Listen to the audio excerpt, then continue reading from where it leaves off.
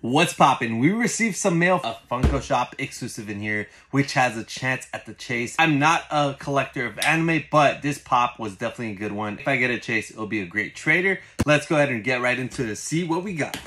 Let's see what we got. I'm not gonna look. Oh, it's backwards. Okay, three, two, one. Oh, we got the chase for the first box.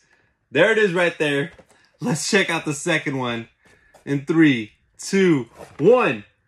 That's a common. Thanks to my wife, I also have another box. So let's go and see what we got in this one. Let's make sure they're backwards before we take a look. Okay, cool. They're backwards again.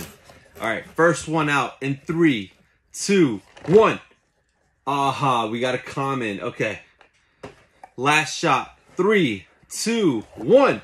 Oh, we got another chase. Two out of four. That's the luck of my wife right there.